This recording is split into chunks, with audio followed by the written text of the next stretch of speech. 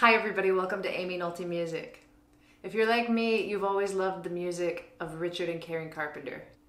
My mom loved their music, my husband's parents loved their music, and I think we heard so much of it growing up that it's kind of like comfort food when we hear it now.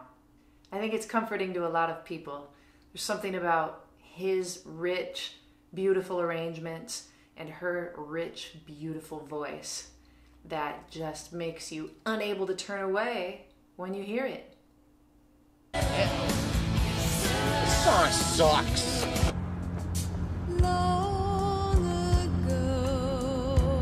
Talk about lame. totally. A wonderful new friend of mine named Rob Urban wrote to me and said, Aimee, I'm working on a transcription of a Richard Carpenter piano solo, and I'd like your help. I was intrigued. I knew that Richard Carpenter was a great jazz piano player. I, I know that Karen Carpenter is a great jazz drummer. If you don't believe me, check it out.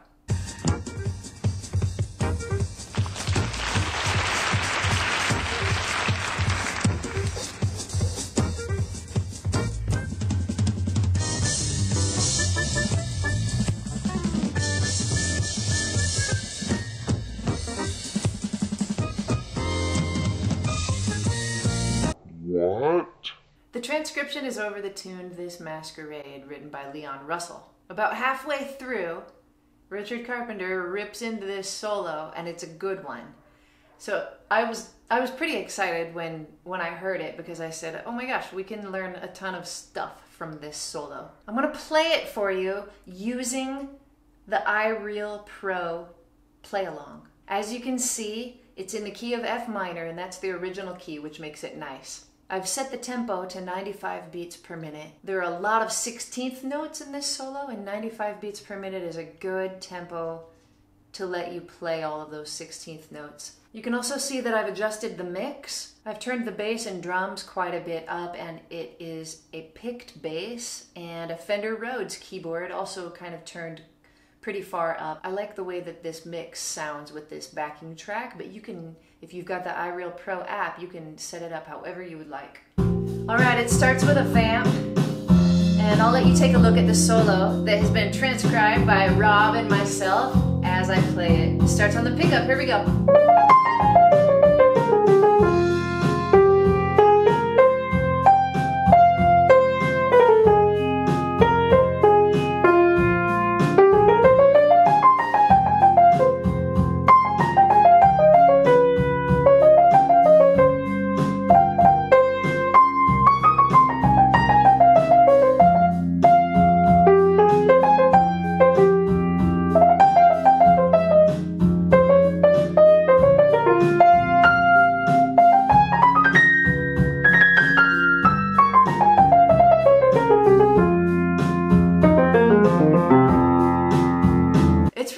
Nice, isn't it?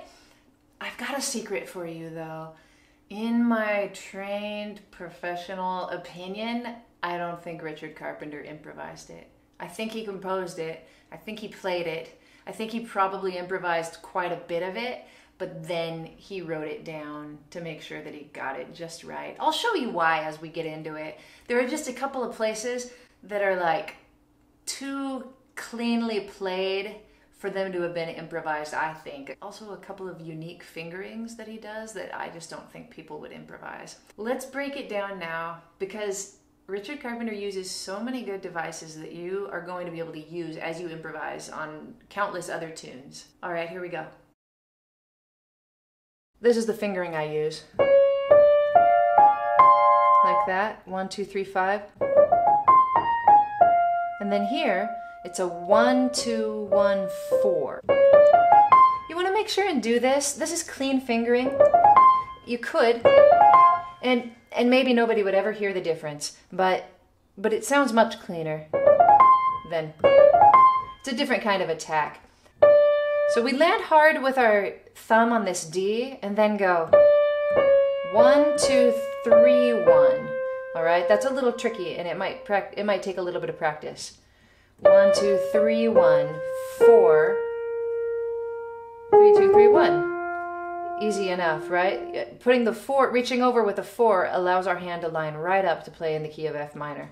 I'd like to point out that if you're ever, you know, playing a minor tune, at the end of the tune or at the beginning of the tune, you can choose to vamp between this minor chord and the four dominant chord. So you've got your minor chord that's the root.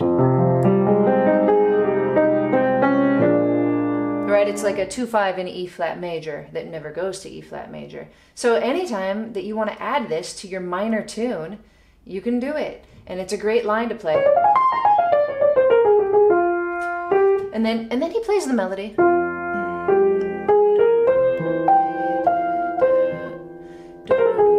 That's a cool little device with some with some triplets. So just the melody, but he's, you know, syncopating it. Here's a cool spot. You know, I, I think this one cool thing about this solo is that it's good for sight reading rhythms. Even before you play the notes, I think it would be really wise to sing these rhythms. Go back to bar four. Ba ba ba ba ba ba da ba da ba da ba da ba da ba da ba da ba da. Then you can try to sing the pitch contour as you go through it without even hitting the notes, just kind of the contour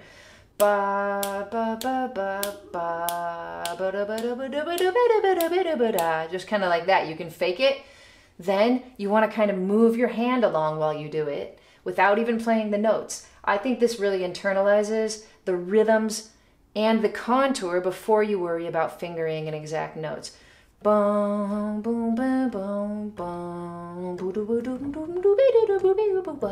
And you point and sing, and then you've got a feel for it, and then you can go for it. One, two, three, four, one, two. Now it's important to wait till after two. Uh, you know, think about that, and that takes it takes some discipline. Do, do, do, do, one, two, ba, do, ba, do,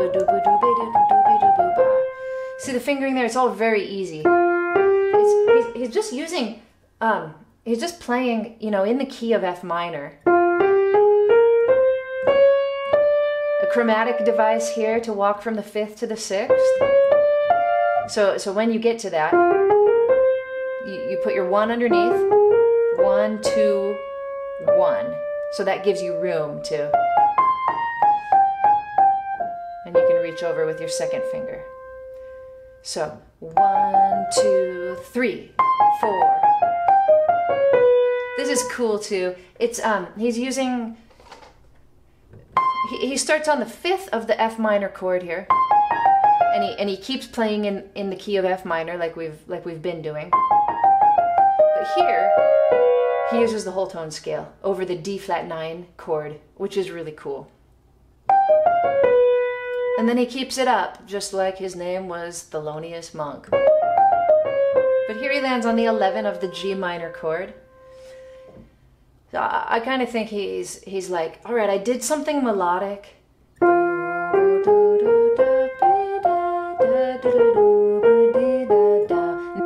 And now he does something, you know, jazz-ish. Right? Now I think he's like, for a second, I'm just gonna, because he knows who his audience is, right? His audience are my parents. So he's gonna, he's gonna every once in a while do something that makes them feel comfortable because I tell you what, the whole tone scale on 16th notes does not make my mother feel comfortable. It makes her go, "Whoa, he's a great pianist." And he is. But he comes back to it for for my mom right here. Uh-oh. Yeah, and, and this here's more bebop device, classical device really too. Um, uh, first he uses the notes of an altered dominant scale right? So he's on C7, altered dominant scale, flat 9, sharp 9. Now we're back in the key of F minor. Land hard on the third. So this is nice too.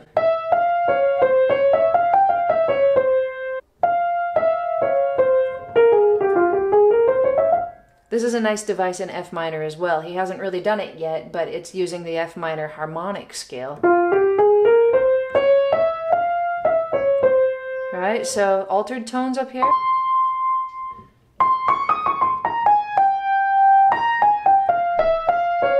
But the order in which he plays these notes, I mean, most people would go.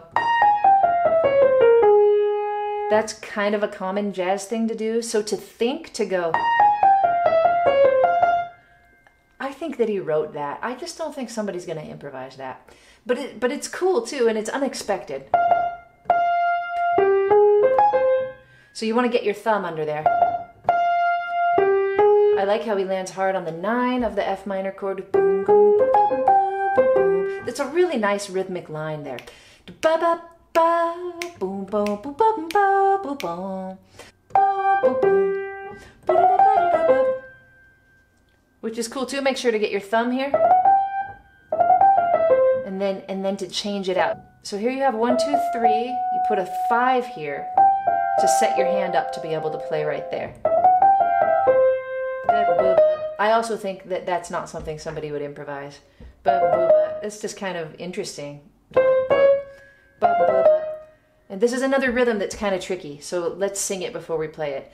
One E and uh, two E and uh, that's a rest, whisper.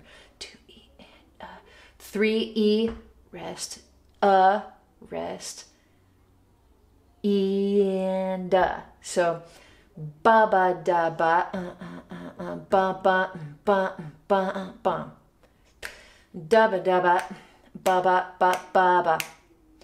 Ba ba ba ba ba ba ba ba. Now we sing the contour. Ba ba ba ba ba ba ba ba. Now we play it.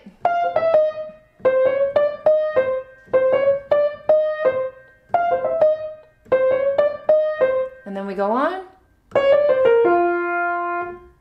You know, look back up at bar one. It's the same notes that he chose to use over the B flat 9 chord there, too. Also in bar five right? It's like a habit of his, right? To use the on the dominant chord, which is nice to use the one, two, sharp two, three.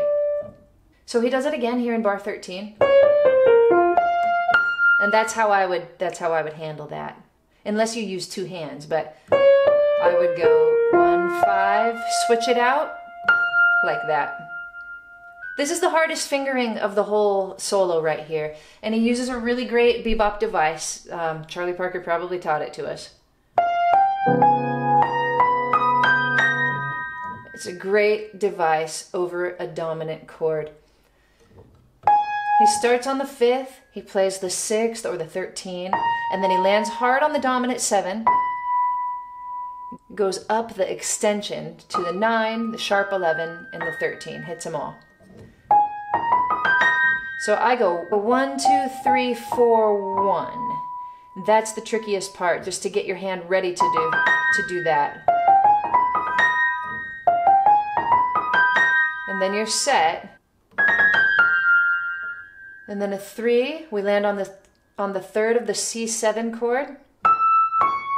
And we're and we're again using this F harmonic minor, or the notes in the C C altered dominant scale.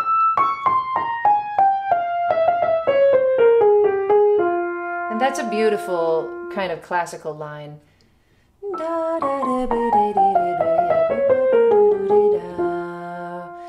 This last part is the part that also makes me think that it wasn't improvised. It's a it's a tricky little part. So we're here on these last two bars. Three, one, four, three, and then this is down an octave. Ba, ba, ba, so I change I change out my my one that was here for a four this time to make it down like this.